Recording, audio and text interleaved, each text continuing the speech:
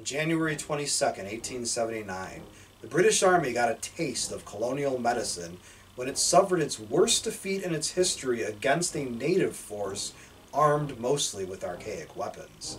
The British numbered about 1,800 soldiers, counting colonial and native troops, and were accompanied by about 400 civilians. A Zulu force of perhaps 20,000 warriors, armed mostly with indigenous weapons, spears, etc., and some obsolete firearms, muskets, attacked the British column that was invading Zululand, resulting in a resounding defeat of the British in the area of Isandlwana. Note, there are various spellings of Isandlwana.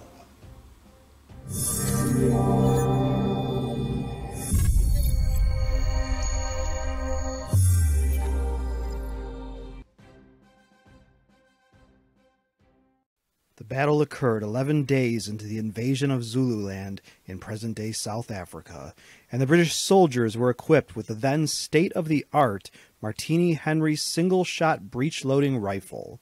The British also had the advantage of having two field guns of 3 inch caliber, 7 pounders, and a rocket battery, but this firepower could not match the enormous difference in numbers and the bravery of the Zulus in the face of a withering hail of lead.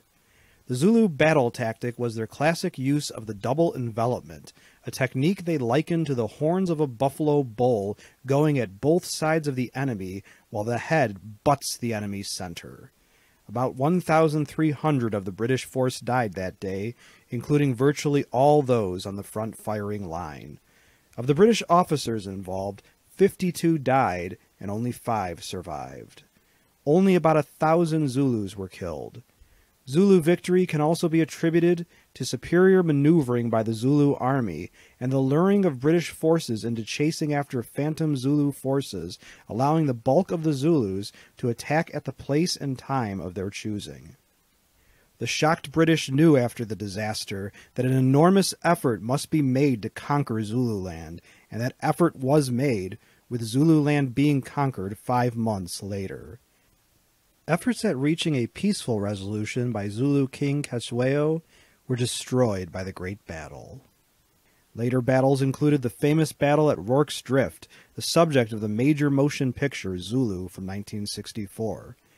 The Battle of Isandlwana is memorialized in the 1979 film Zulu Dawn, a prequel to the 1964 movie Zulu. The star power of Peter O'Toole, Burt Lancaster, John Mills, and Simon Ward fuels the film, which depicts British inefficiency and overconfidence as reasons for the disaster.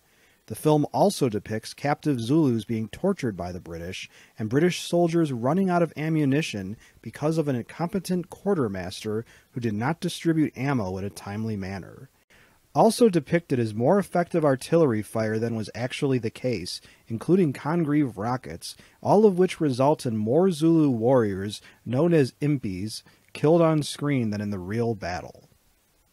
In spite of the film's connection to Zulu, a profitable and popular film, Zulu Dawn did not garner either a rousing critical acclaim nor a large box office. The author thought the movie was pretty good, if not totally accurate.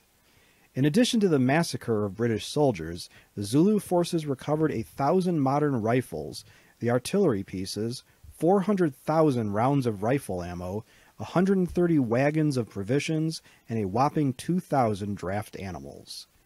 As a question for my students and subscribers, have you seen either or both of these Zulu versus British motion pictures? We recommend if you have seen one, you really should see the other as well. Let us know what you think of the films and what you think of British colonialism in southern Africa in the comments section below this video. If you liked this video and would like to receive notification of new videos, please feel welcome to subscribe to History and Headlines and become one of our patrons. Your viewership is much appreciated.